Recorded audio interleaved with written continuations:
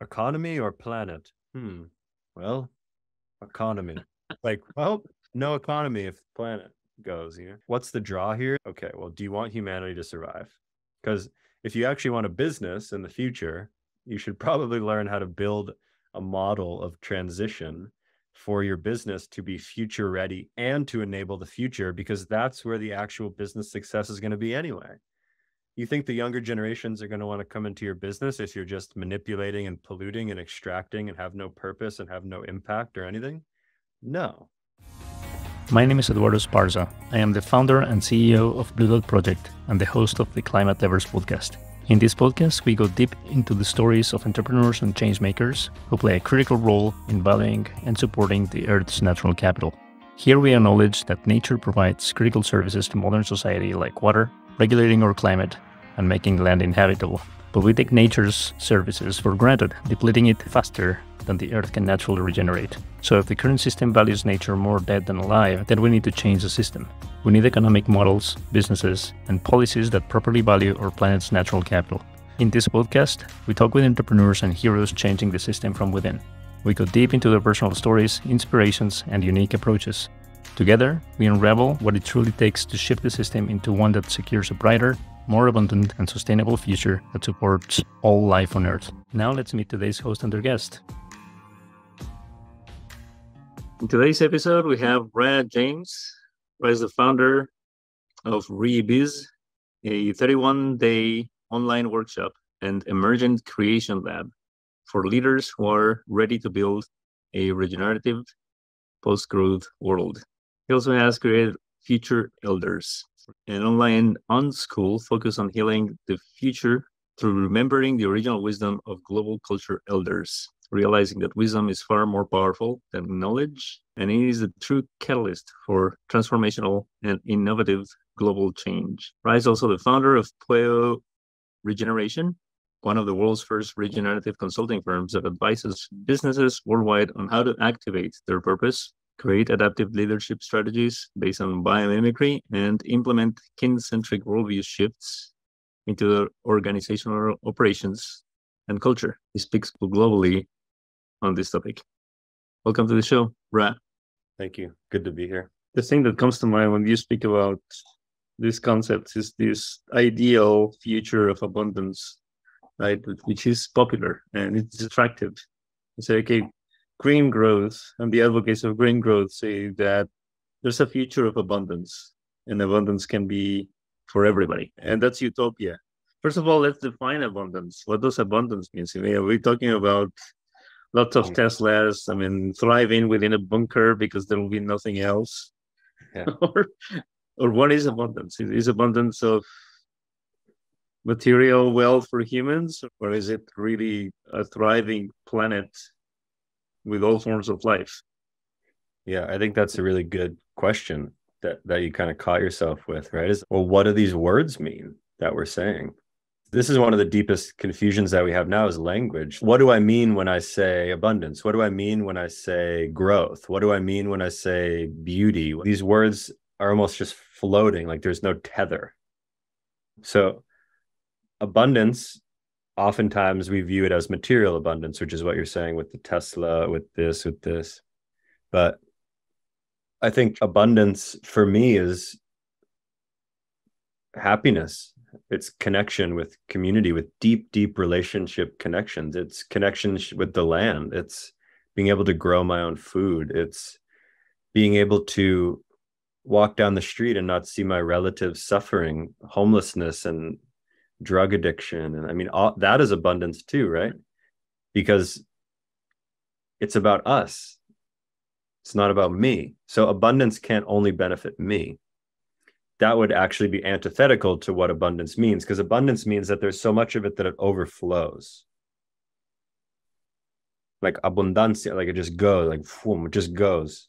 And if i'm accumulating it and hoarding it in my own little section like that's not abundance that's greed yeah so abundance means that it overflows and something that i find really interesting is from what i've learned of like partially some of the the lakota worldview is when someone was sick in their village or their tribe, that person was a messenger showing what needed to be healed within the tribe.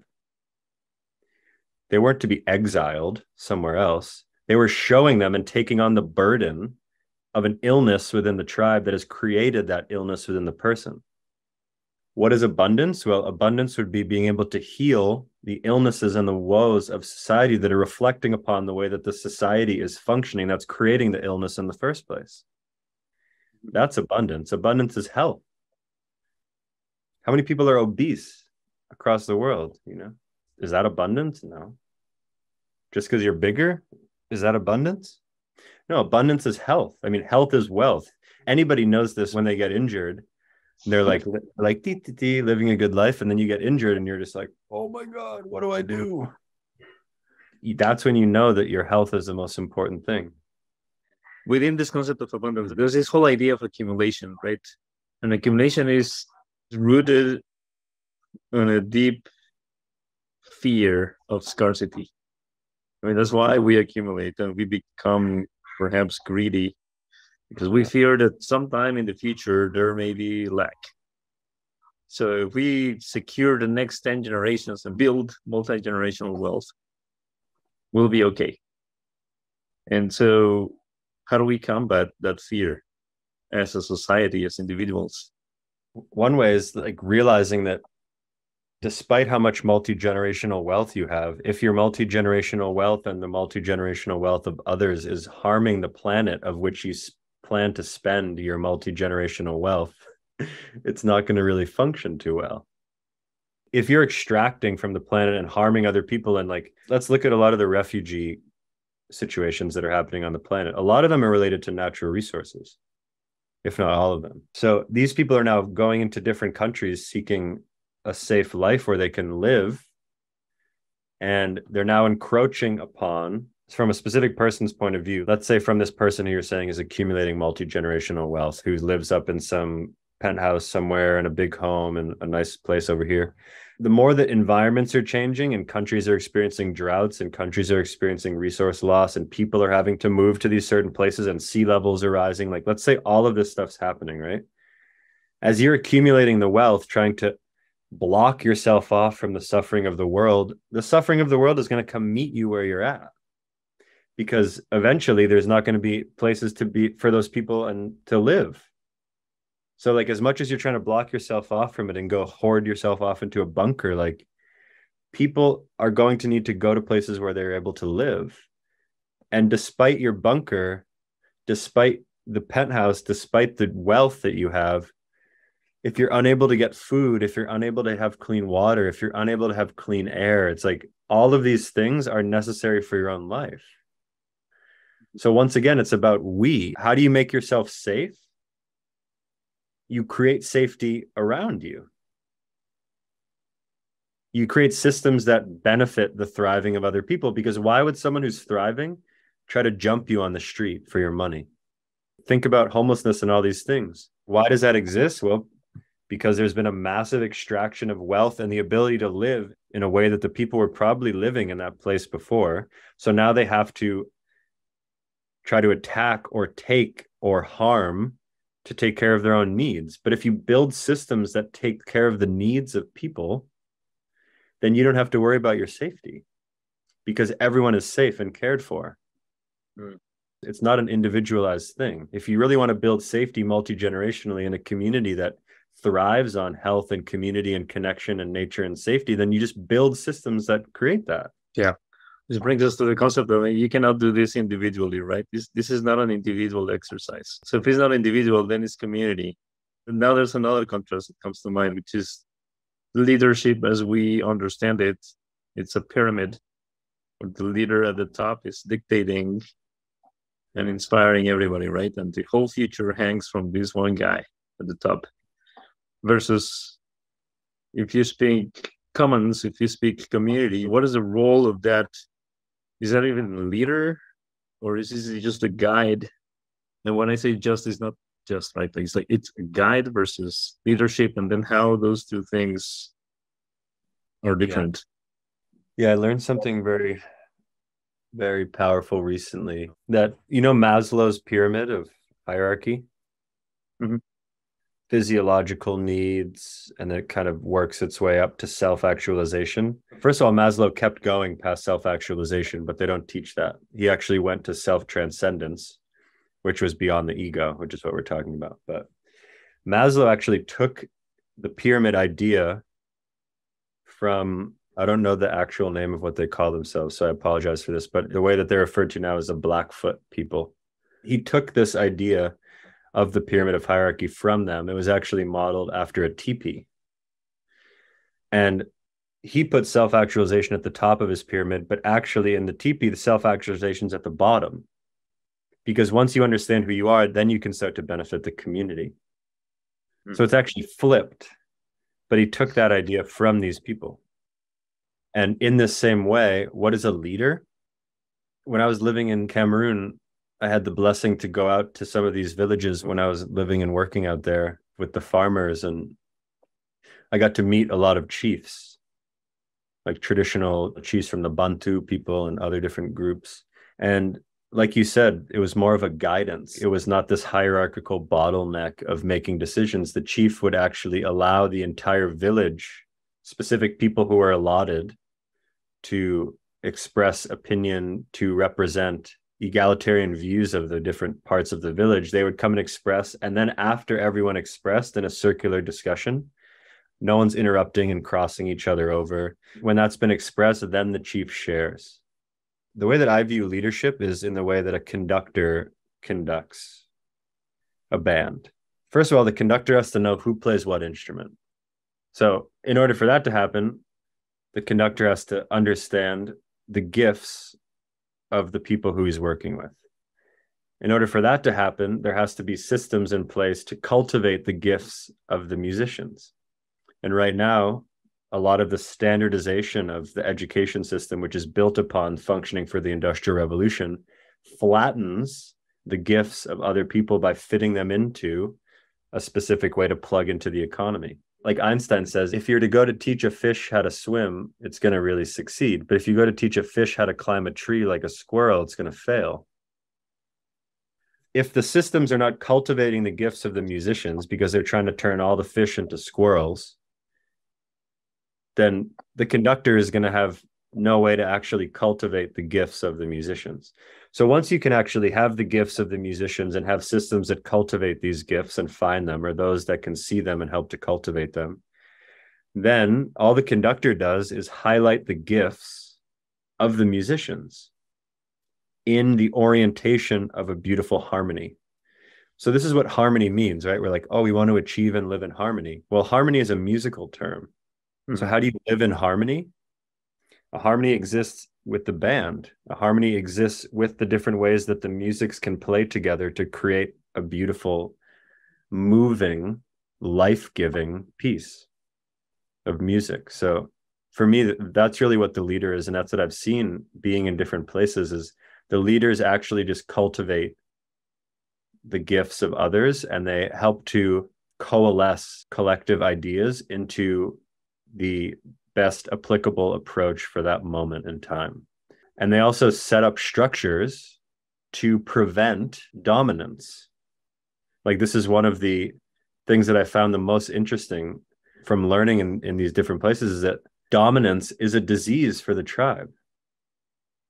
Narcissism is a disease for the tribe because if you think that you're better than the other people who you're in community with, you're going to cause a lot of disruption. So there are methods of making sure that you don't do that. There are methods to make sure that dominant view and narcissism don't arise. And what's happening now is we're actually manufacturing narcissism. You know, we're manufacturing individualism. And in this book, Sand-Talk, which is an amazing book by Tyson Yunkaporta, he talks about the stone knife fight. And this was something where if two people got an argument or some sort of quarrel, they'd have to fight with these stone knives and you have to get the other person's back. You'd have to like try to cut them on the back. And then whoever won, right? Whoever cut the person the most on the back, whoever lost that would then get to cut the person who won's back all of the same times that their back got cut. So basically, even if you won, it didn't matter because you then got cut in the same way that you cut the person who you beat. And that's a way to make sure that you don't think that you're some high and mighty person who's better than the community because you're better with that. When you harm someone like that, you're harmed right back. It's equal, it's not dominant. This is what leadership is about. Leadership's about cultivating the we. And it's throughout time. It's literally throughout time. This is probably like 10, 20, 30, 40, 50,000 years old. I don't know how old that practice is within the original communities in Australia, not the Aboriginal, but the original, right? Because they're the original people. I don't know why the name's Aboriginal. Here's there's another concept, another contrast, right, between competition and collaboration. And arguably in economics schools and business school, they teach us about competition is good, but there's competition, just like the survival of the fittest out in nature how do you contrast these two terms and overcome this tendency to dominate to favor collaboration? Survival of the fittest it's kind of an interesting one right? Because it's actually survival of the most adaptive. It's not necessarily the fittest. This whole like evolutionary biology thing that darwin did i think we've misinterpreted it because the survival of the fittest it doesn't actually function like that. It's survival of the being that helps to feed the ecosystem in the best way. So once again, it's about the ecosystem. Like the herring in Sitka, when I had the blessing of going and sitting with the, the Tlingit people in, in Sitka Kwan, which is known as Sitka. And I was learning about the herring there. And the herring are like the keystone of that entire environment because all the other animals eat them the people eat them the birds drop them off into the forest and they decompose in the actual forest so the herring survived, right? The herring thrived. But is that the fittest? Why are they the fittest? They're not the top of the food chain. What are they? They live in the way that proliferates life in the environment. So their survival is dependent upon the ability for everything else in the ecosystem to thrive. Because if that thrives, then they'll thrive. Because the whales aren't just going to go and whoop, eat all the herring. Oh, whales are competing with the seals today. Whales eat all the herring, seals get none. That's not how nature works. It's not competitive like that. A wolf doesn't go and eat all the food so then all the other animals die. That's the way that we view competition, right? But it's not it's not like that. Everything is working together naturally. That's how ecosystems function. So survival of the fittest is really a misnomer in the way that I view it because it's survival of the most adaptive or survival of that which creates the most life inside of the ecosystem itself.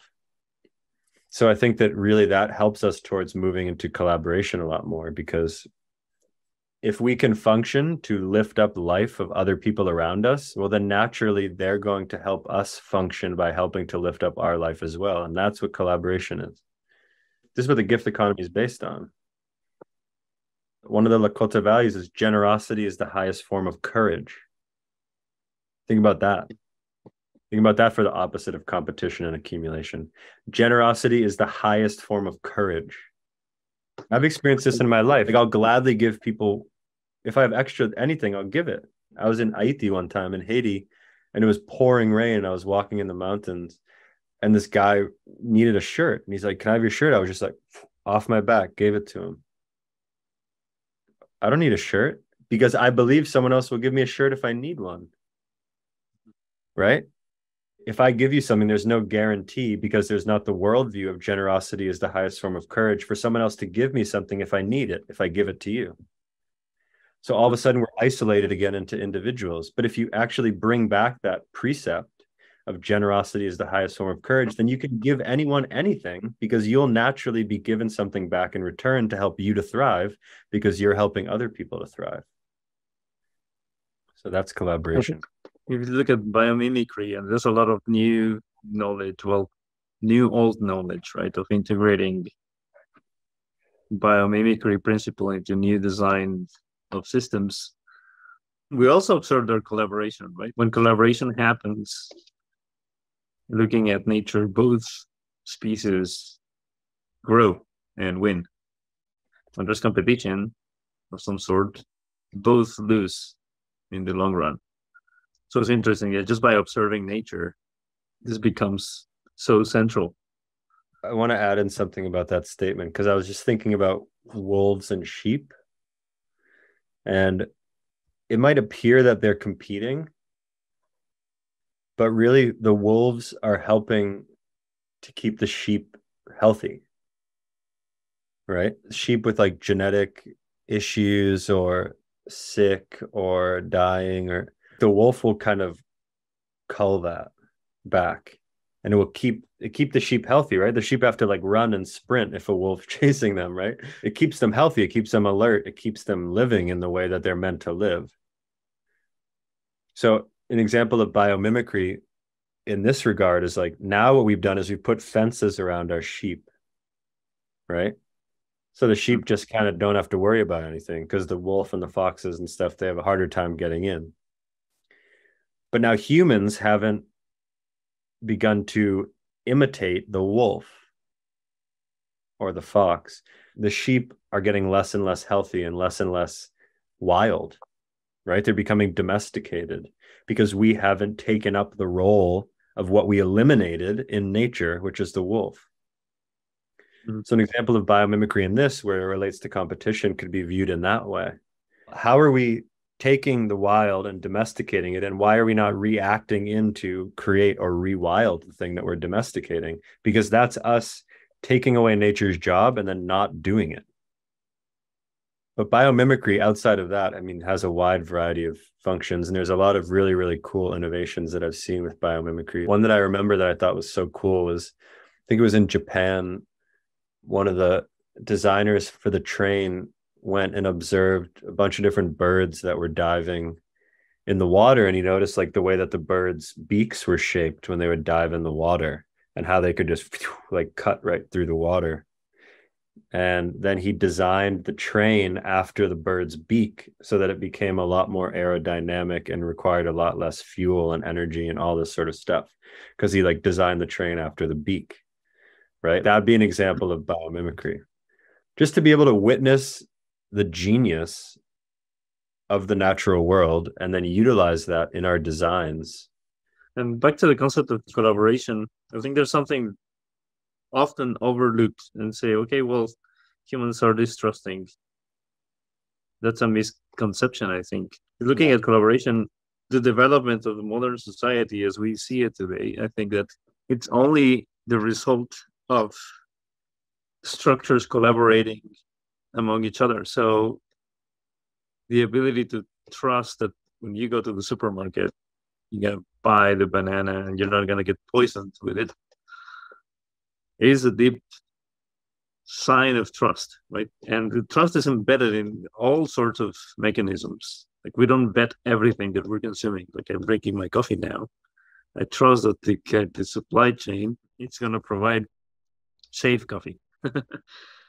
And so uh, I believe that the potential is evidently there, but there's some aspects that we have decided just to ignore that and just going into this lack of collaboration or competition, right? Against when we talk about big walls between countries and borders and separation as opposed to unity. So there's potential. I have faith that there's a way to exploit the innate ability to trust. I think trust actually needs to erode or decompose before we can actually truly learn how to build systems of trust. And I think that a lot of people are actually beginning to build them, yet simultaneously, there's a lot where we just still blindly trust in corporations' intentions of how we should live or what they're providing for us. And I think that that trust really needs to erode. And I think it is eroding pretty rapidly right now in the world as well, which is why we can witness right there, right? That's why decomposition is key. Because as trust in these corporations and their intentions erode, it brings back responsibility into us to grow better organizations. So, right there, you get to witness into the life cycle of how important it is for decomposition. I want to contrast another set of concepts that you have alluded to, and that is wisdom versus knowledge versus intelligence. How do you see these three concepts? I'll start with the wisdom and knowledge. Knowledge is our concepts, right? a lot of theory. For example, in universities, you're taught a lot of theoretical stuff. Theor- theories on organizational leadership, theories on this, theories on that. But wisdom is knowledge that's been transmuted into experience. So you know it's real, it's been tested. And the deeper the wisdom, the deeper the time of testing. So for me, the deepest wisdoms are those that have been tested over deep time. For me, that would be the deepest wisdoms. Um, one of my teachers, Rudy Sochipili, he, he talks about how Western philosophy is all about thinking. He's like, native philosophy, we didn't think about it, we just did it. Native philosophy was lived, it wasn't thought about, it wasn't a concept. He's like, why am I going to write about something before I live it? I'll live it first, and then I'll learn that it works, and then maybe I'll talk about it. But why am I going to just propose a theory that has no rootedness in function and then act like that's the truth? So I think a lot of the knowledge that we have is just theoretical, it's just conceptual. Even in social media now, we see wisdom is becoming an opinion. And what that really means is that people go sit in one plant medicine ceremony and now they think that they're a shaman. People go learn one thing and then they propose it as wisdom and try to contradict something that's in yogic philosophy that's been there for 10,000 years. That's not how it works, you know? That's just spewing opinion. So, wisdom is something that is rooted through experience. It's experiential sciences, it's a ways of living, it's a life way, not a lifestyle. And this is really, really important. Everything we're doing now is about lifestyles, right? Oh, the way you dress. Oh, that's a lifestyle brand. What does that even mean? I don't want to live in a li- lifestyle. It's life. There's a life way. And the way that you live your life should be harmonious with life. so I think this is the difference between knowledge and wisdom. Is knowledge is just a concept that hasn't been transmuted and tested through experience in a deep time understanding, which is where I view wisdom as. And wisdom, the roots are a lot deeper, right? It's a lot less shakable. Wisdom, for example, like there's things you just can't ignore. We eat food. That's wisdom, right? So the wisdom would be don't harm your soil. That's wisdom because you eat food to live. it's that simple, right? Get around that one. Come to me with some knowledge to tell me about how I don't need to eat food or treat my soil good. You can't do it. You can come in with fertilizers, you can come in with all of this stuff. It's not going to matter. The end result is that you eat food and I eat food. And if we harm the soil, we don't eat food. That's wisdom. Wisdom is simple it's also complex in its understandings and the way that you can learn and work with the natural world, but it's clear, you know? So, intelligence, I think, is something that is the essence of the way that energy is delivered in formation, right? We have this word information, but that's just intelligence in a specific form. So, in formation. So, when the intelligence comes in and it's received, you then have the ability to then utilize your experience to move that information into a life way. So every single thing contains intelligence. That's really what consciousness is. Everything is intelligent. From the grass to me to the tree to the bird to anything. It's all made of intelligence. Nature is intelligence. God, another word for God is intelligence, natural intelligence. So to utilize the intelligence to then live in a beautiful way, that would be wisdom. To take the intelligence and create something compartmentalized or theoretical in concept, that could maybe be knowledge. Another part of wisdom is that it has to be interconnected with everything. Knowledge can be compartmentalized, but wisdom is interconnected. So I'd say that these are some of the differences between these words. Let's shift to a vision of the future, Ra. You speak about building a future that has three components in it, uh, or three characteristics purposeful, kin-centric, and regenerative. Can you unpack these three concepts for us and put it in perspective of how do you see the future we need to build? I just did a TED talk on purpose in Ireland. It was called Why You'll Never Find Your Purpose. And why I titled it that was because it's not something that we find, it's something that already is here. Right? When you look up the word purpose, it comes from P U R P U S, purpose, and it means aim, intention, or proper function for which something exists. So we're humans and the word human means ground or soil. So, what's our purpose as humans? Well, what's that proper function for which a being of the ground or the soil exists? Well, the proper function would be to cultivate and keep that harmonious and intact. So, our purpose is actually not about us, our purpose is about life.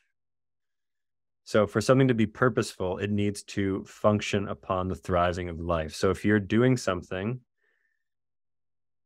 that is assisting with life thriving, being creative, abundant, ecosystemic, interconnected, beautiful, any of these things, that's very purposeful. Right. Eventually, you can get to the point of when you fully get out of your way, you can realize that life is purpose. Those are synonyms for me. Life and purpose, they're the same thing. Life is purposeful in itself. So we are a part of life. We live with life. We live with planet Earth, not on planet Earth. So purpose is understanding that and then living in that way. Kincentric, what kincentric means is that you understand the deep interconnected relationality between you and all of life. You view that way you live that way. You go to cut down a tree, put an offering. You're taking something, give something back. That simple. Right? To be kincentric, to live in kinship. That understanding naturally, when you feel that way, when you know that on an embodied level, not that you think it, because people are like, oh, everything's one right? And then they'll go and they'll kick dust on some homeless person on the street. And they're like, oh, it's all one. You just kick dust on that person. What's all one? It's not all one if you think you're separate from the one. You know? Mm-hmm. so kincentric is understanding that and living in the fact that we're all connected and equal here. It's not hierarchical, like humans aren't better than sharks. You know? Eagles aren't better than hummingbirds. Kincentric is egalitarian. And within that uniqueness and the unity of egalitarianism comes the uniqueness where each entity can thrive and live in its own function. Because unitive frameworks can only function in uniqueness. So kincentric is about this. And regenerative is just natural. Nature isn't sustainable, it's regenerative. Right? Sustainability is kind of like a funny concept because everything naturally regenerates itself and enables life to function in and around and with it. So regeneration for me, it's most applied right now to agriculture, but regeneration is an energy. It's one of the directions, you know. Regeneration is really a result of living a purposeful and kincentric life, which is why I organize them in that way because if you live in kinship, understanding that your purpose is to create more life, then you're going to build regenerative things. You're going to create regeneratively. You can't create regeneratively if you view yourself hierarchically from something else because you're going to funnel your energy and allocate that towards your own benefit outside of the benefit of the kin network, which is not purposeful because it then detracts from life. So naturally these kind of funnel into each other like that. My perception is that the toughest concept to get through is the concept of kin kinship and kincentric. Because it has been embedded in our culture that humans are truly the center. Humans are the center. Humans are the pinnacle of creation We are made to the image of God. That's a deeply rooted belief. How do we even come around that when that's like almost in the DNA of the modern culture? Well, another thing that Rudy shared with me is that the word culture comes from the word cultivation. They come from the same root word. So we're actually right now not living in a culture. We're living in a pseudo culture because it's not rooted in earth wisdom. It's not rooted in natural law. Like indigenous languages, from what I've realized, first of all, they emerge from the place where the people lived, right? They didn't come up here and they're not like fork. They don't just create a word like fork the language like is created from the place with sounds and understandings and the way that things are interconnected and most of the languages are verbs which means that they're living right Which the majority of the words in english are nouns which are objects which are inanimate so naturally our worldview is one of non-kincentrism when we objectify the living world into an inanimate object so already with the way that we're viewing the world through our language, we're blocking, we're freezing reality. Even the word life in English, if you look it up, it's a noun. And your name is a noun. Are you a noun? Are you a frozen object? No, you're living. You're going through the natural rhythms of life, right? So already from the way that we're learning language with English, for example, is blocking us off into anthropocentrism, which is human centricity. But how can humans be at the center of life when all of life existed before humans? And how can humans be at the center of life if we're reliant upon life to live?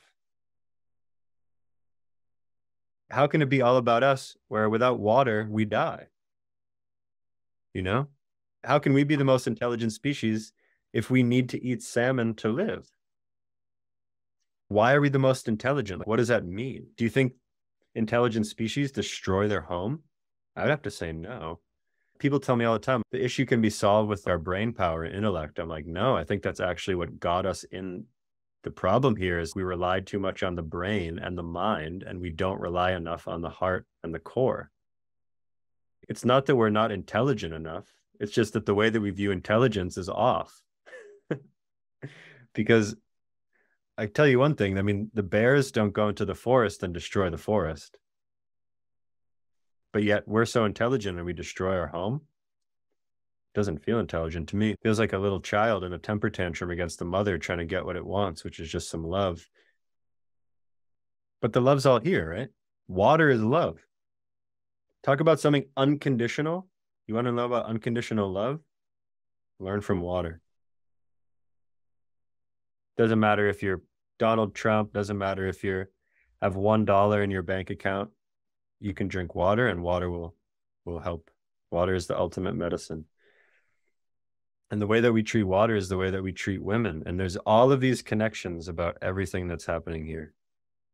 So, the one thing to know about kinship is if you think you're the center, start to take away the things that give you life and let me know if you're still at the center. yeah. Or you're still superior, right? Yeah, it feels that simple, really. And maybe it's just the place that I'm at with how I'm viewing the world now and living, but it's not rocket science. It's a very simple equation. You are given food, you grow food, plant a seed back in the ground. You eat fruit, put the seed back, right? That's a circle. That's what a resource is. If you eat the fruit and you just throw it in the landfill, it's not a resource, it's a source. You didn't even re it. You didn't resource it back into the ground. It's just a circle, you know? So naturally, that's what you're supposed to be doing. We get life, we put life back. We are given something, you put your good energy back. We are doing this, we're doing that. Like just, we're doing it already right now. We're breathing. You breathe in, you breathe out. That's reciprocity. One of my uncles from the Tongva Chumash Nation, he's like, Ra, when we're born, we make an agreement with life. That agreement's with our first breath in the agreements that we breathe back out in reciprocity. If you don't like that rule, try not to breathe for a while. That's it. That's kincentrism right there. Understand that your breath comes from billions of years of the respiration of algae, trees, and various other beings. And that we're breathing the same breath, the same air that they're breathing on all the other side of the world. And that your great, great, great grandmother, she breathed the same air they were breathing in. You know?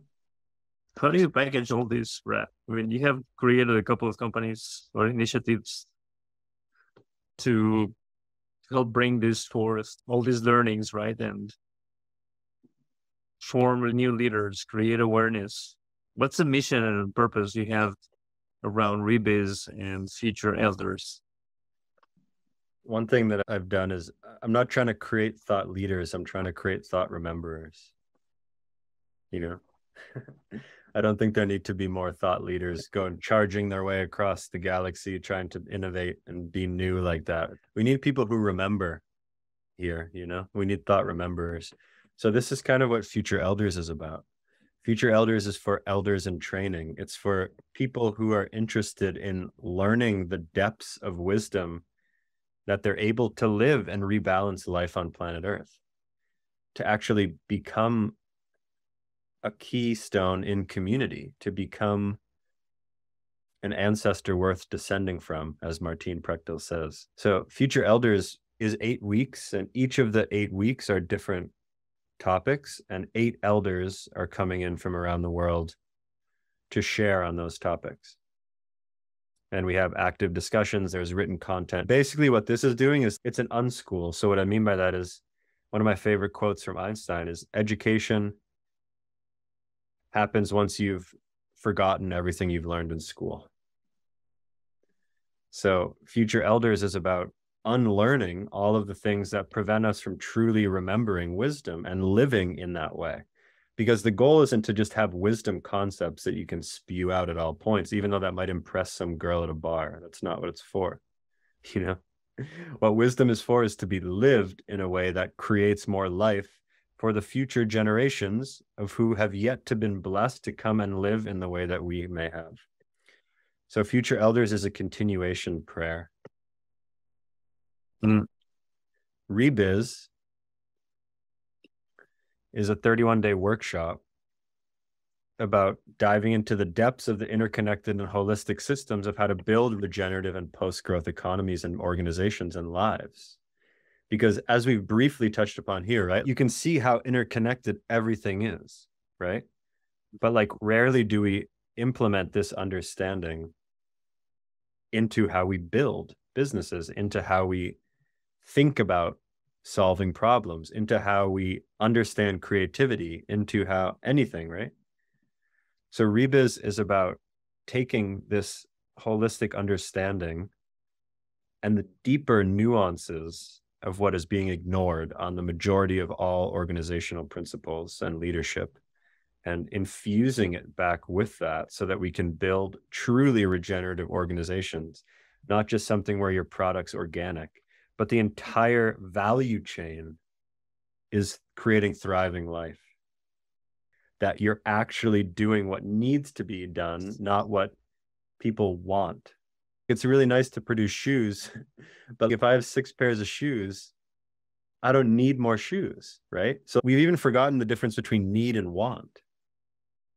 So we're just building businesses for wants. We're building 90 new integrations to Slack when people don't have clean water. So, how do we actually build regenerative businesses? How do we actually do this and understand the depth and the layers that this goes?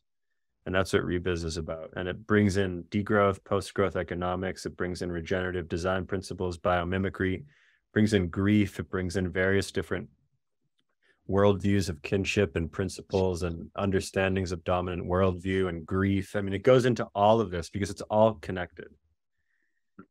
Like the more that we disassociate our humanity from our business, that just deepens the separation. We're not machines. We can't function in an infinite growth linear model like that. Time's not even linear. We've forgotten that. Like the amnesia is so deep.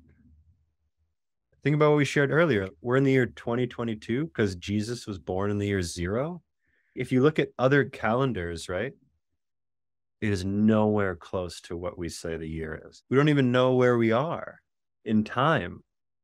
Mm-hmm. So this is the level of depth that we need to be putting into the way that we're thinking about creating organizations and businesses to create thriving life on earth. Mm-hmm. Or else, I mean, we're witnessing some of the repercussions now. So this is what two of these offerings are. And then if organizations actually need assistance in developing these outside of the content that I can share and in these actual reprograms, then that's what Pueo is for. Pueo is the Hawaiian word for owl. It represents ancestors and caring for life and humans and non-humans. The owl is a sign of uh, ominous nature. A lot of cultures look at the owl as a warning. Do you address the concept of business? Because business, as we understand it, is like it's a machine to create wealth, which yeah. is associated with all the things that we just discussed, right? Yeah. The concept of business has to be rethought. What is a business? And what is the goal of creating a business? I see RIB Rebiz perhaps tell me, is it an inception? Is it like planting the seed for future incubation of businesses? I even hesitate calling it businesses because business and wealth creation are so stuck together. So there's got to be some other term yeah. for an organization that is regenerative an organization that thinks other than wealth creation. Yeah. Feels like yeah. we almost need a new word. Yeah, this is why it's rebiz, right? Re. And the word business, funnily enough, business and busyness are spelled the same way. Business, yeah. You're staying busy. You meet people too. It's like, how's work? It's like, oh, it's busy. Oh, yeah. Well, it's a busyness but we don't need to stay busy like that, you know? We can do work. This is the difference between work and toil. Work clears the pathway so that other people don't have to do that work over and over and over and over again. If you're doing something that needs to be done over and over and over and over and over again, and you just keep doing it, that's toil. That's what the Buddhists call samsara. you're just spinning around in a wheel. I think that a big part of all of this is like how do we start redefining our language? Because maybe that's not the right word anymore.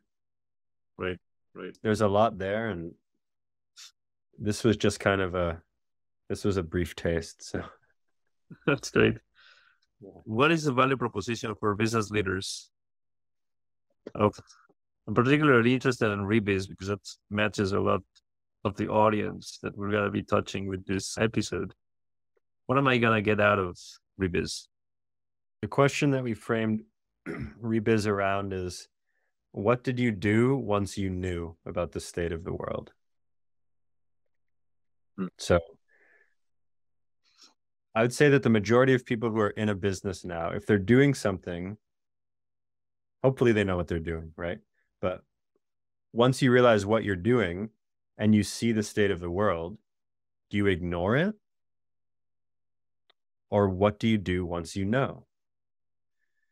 So once you know something, you should probably act upon it if it needs to be repaired or restored or reconciled or healed. So what Rebiz is for is I've met so many people who have been in sustainability for years, 10, 20 years, and they're like, I've never heard of any of the stuff that you're saying. I didn't learn that in my MBA studying sustainability. I'm like, yeah, because why would that be taught? What's the draw? The draw is to actually begin to understand the depth and nuance of what it means to truly be sustainable and move beyond sustainability, which is not a natural process, but to move into regeneration. And even regeneration eventually gets to a point where it then hits a threshold and it balances itself out. So the whole point is to actually like there's this really funny thing, right? It's like economy or planet. Hmm. Well, economy. like, well, no economy if planet goes, you know. What's the draw here? Okay, well, do you want humanity to survive? Because if you actually want a business in the future, you should probably learn how to build a model of transition for your business to be future ready and to enable the future because that's where the actual business success is going to be anyway you think the younger generations are going to want to come into your business if you're just manipulating and polluting and extracting and have no purpose and have no impact or anything? No. right? Right there, employee engagement and recruitment. Mhm. You think your business is going to survive if it's dependent upon a fragile supply chain that's continually affected by macroeconomic issues and global climate crisis? No, you should probably diversify your actual way of the way you think about supply chain. All of these things are in it, right? To be able to look at the picture, that's what Rebiz is about. And then it helps to regenerate the human resources, right? Why do you think human resources are burning out? Well, we're burning out natural resources too, right? So if it's a human resource, what do you think burnout is? Burnout's excess extraction. So if a human is a resource in the same way that the land is a resource and we're extracting upon the land until it's depleted and we're extracting upon the humans until they're depleted, you think that human's going to want to work for you anymore? We need to think about all of this. And this is really what Rebiz focuses on. What will be your call to action to business leaders? If they listen to this podcast, that should be call of action enough. Very good, Ra. Or how can people learn more about Future Elders or Rebiz? You could find me on LinkedIn, Ra James. Futureelders.co is the website for Future Elders, and rebiz.io is the website for Rebiz. On there, you'll be able to get in touch with me. You'll be able to see what the offerings are. And I think that should be plenty. Excellent. Well, it's been great. Are you ready for the rapid five? Sure. Number one, top author or book? Restoring the Kinship Worldview by Wahinkpe Topa and Darcia Narvaez. Number two, what climate leader do you look up to or inspires you? Vandana Shiva and Jason Hickel. I think they're both pretty cool. I think Vandana's on a whole nother level, but I'm really grateful for her and what she's done to help preserve seeds. And I mean, everything she does is just incredible. If you had a magic wand, what would be the one thing you will change or problem you will fix today? I would just wave it over people like this and say, We are all a part of the earth. So take care of her because she is you. Number four, who do you think we need to have in the pod? I think you should have Jason Hickel on the podcast if you can. He's pretty epic. He talks a lot about degrowth, post growth. He just got funded by the EU to do some research on degrowth. So And number five, do you think we'll make it? depends what you are calling we. Will we humans? Because we Earth will make it. Yeah, I mean, the Earth will be fine, you know? And the Earth's been here a long time. Will we humans make it? It really depends. I mean, we have a choice. So it depends who's willing to step into the responsibility and the reciprocity of what it means to truly be a human. And if we are and we can do that, I think we have a chance. If we don't, I mean, who knows, you know? I think eventually humans will potentially come back again. Earth's going to be here a lot longer. So, Some sort of human, yeah. Some sort of intelligent life, let's say. yeah. But that's interesting. I mean, I just want to close with the concept. When you ask, what do you mean by we? I think it's critical for us to realize what you said. Like, hey, you take an arm or a leg and you can still live. But you take water or air or food for a few days and then you're gone. Yeah. So when you say we, what is encompassed on the concept of we, right? Yeah. Who are That's- you? Who are you but water and food? Exactly. It's amazing. Well, thank you so much, Ra. It's been a pleasure. Yeah, thank you.